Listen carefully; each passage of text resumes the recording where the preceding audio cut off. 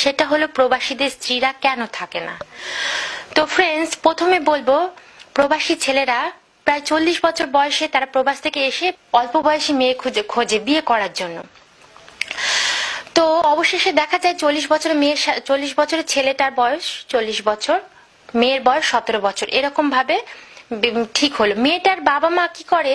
যে দেখে যে ছেলের কিছু পয়সা আছে, বিদেশে চাকরি করে হ্যাঁ বিদেশে একটা মোটা অঙ্কের বেতন তো পাই সেই সেই লোভে টাকা পয়সার লোভে মেয়েটা, একটা সতেরো বছরের মেয়ের সাথে কি করে চল্লিশ বছরের ছেলেটার বিয়ে দিয়ে দেয়? একবারও ভাবে না যে মেয়েটার মনে কি চায়? মেয়েটার মনের তৃপ্তি মনের সুখটা সেই ছেলেটা দিতে পারবে কিনা, সেটা একবারও তার মা বাবা চিন্তা করে না। আচ্ছা যাই হোক, বিয়েটা হলো।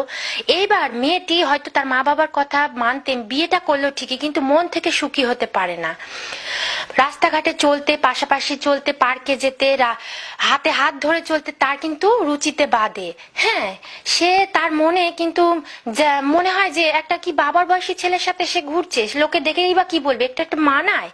লোকে দেখে বলবে যে কি আঙ্কেলের সাথে পার্কে ঘুরতে এসেছে। এটা কেমন দেখায়? হ্যাঁ।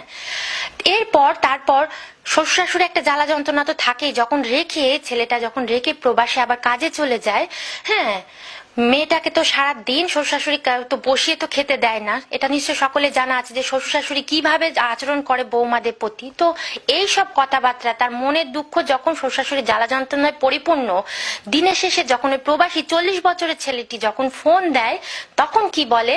তখন ফোন দিয়ে মেয়েটি যখন তার মনের দুঃখ, মনের কষ্টটা শেয়ার করতে চায় স্বামীর সাথে মনের দুঃখ শেয়ার করার কথা করবে কি? বলবে কি, হয়তো তার মনটা একটু ভাব ভালোবাসার কথা শুনতে চাইছে মেয়েটার। হ্যাঁ কিন্তু সেই ছেলেটি সে কথা বলেই না কো। হ্যাঁ সে বলবে কি, একটা চল্লিশ বছরের ছেলে, সে বলবে কি, আমার মা বাবা ভালো আছে, আমার মা বাবার মা বাবা বলেছে সারাদিন যেসব জ্বালা যন্ত্রণা করেছে, ওসব কোনো ব্যাপার না মা বাবার কথাই শেষ কথা মা বাবার কথাই শেষ কথা। বলবেই।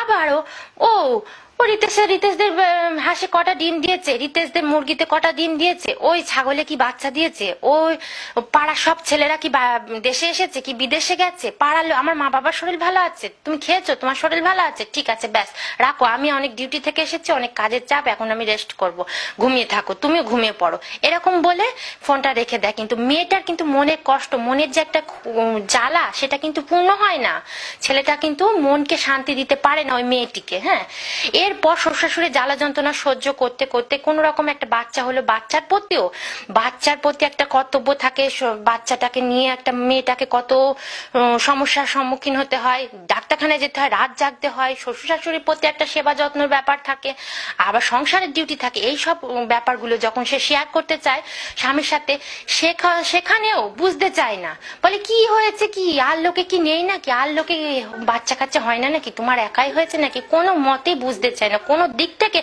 এই মেয়ে কোনো সান্ত্বনা পায় না। এইভাবে চলতে চলতে যখন একটা মেয়ে যন্ত্রণায় তার পিঠ দেয়ালে থেকে যায়, তখন কি করে?